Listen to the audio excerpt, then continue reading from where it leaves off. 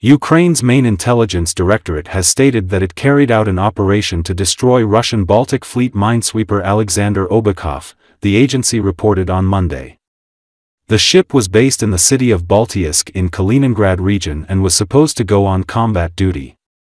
Due to the mysterious appearance of a hole in the gas duct, water got into the engine, the main intelligence directorate revealed in a statement and published a video of the engine inspection. According to agency, the Minesweeper's repair will be technically complex and expensive. There have been no official reports from Russia regarding the problems with Obukhov. This was the second case of Ukraine sabotaging a Russian warship in the exclave, which lies between Poland and Lithuania some 400 kilometers from Ukraine's northwestern border. 3 October 2024 Alexander Александр Производится разборка главного двигателя по причине попадания воды внутрь двигателя. Был раз, была разобрана турбина, снят компенсатор. Идет поиск отверстия, через которое поступала вода внутрь.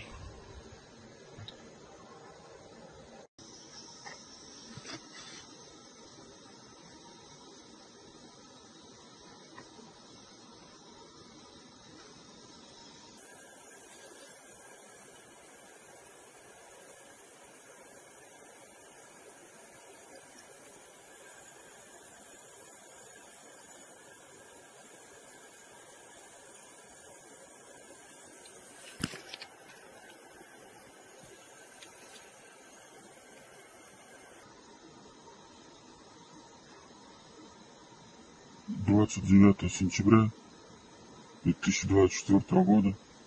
Город Балтийск. Тральщик Александр Обухов.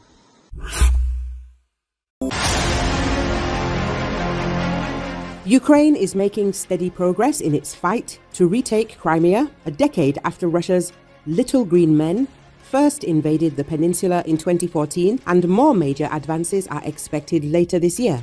Although Russian troops spent years digging in in Crimea, turning the popular vacation spot into a military hub, special operations by the armed forces of Ukraine over the last two years have decimated the Kremlin's logistical capability and military readiness, according to a new report published by the Atlantic Council with international attention firmly fixed on the Russian army's advances in eastern Ukraine and the Ukrainian invasion of Russia's Kursk region, it is easy to overlook important developments taking place further south in Crimea, wrote Serhii Kuzan, the chairman of Ukraine's Security and Cooperation Center and a former advisor to the Ukrainian Ministry of Defense. During 2024, Ukraine has achieved a number of strategic successes in and around the Russian occupied peninsula that are worthy of closer attention and could shape the ultimate outcome of the war, he said, according to Kiev Post media outlet.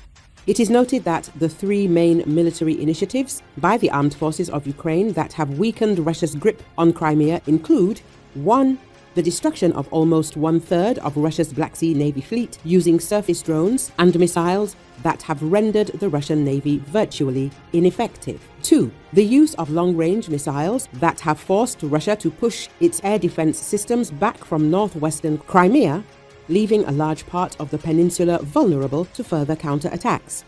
3. The successful targeting of key logistics hubs and routes leading to the peninsula that have severely limited the ability of Moscow's forces to supply the area with essential material resources. The armed forces of Ukraine has used this three-pronged approach to push all of Russia's navy out of the Sea of Azov and limit the Kremlin's ability to stage attacks from the south, according to Kuzan. Even more, the targeting of Crimea has offended Putin, who has constantly promoted the capture of the peninsula as a major victory.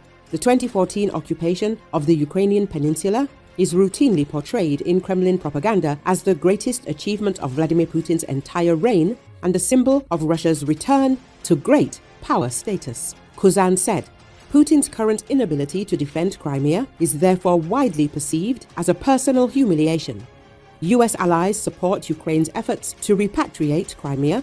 According to General Ben Hodges, a former NATO official and commanding general of US forces in Europe. We could be 100% clear to the Ukrainians and the Russians that we are 100% in favor of them retaking Crimea, however they do it.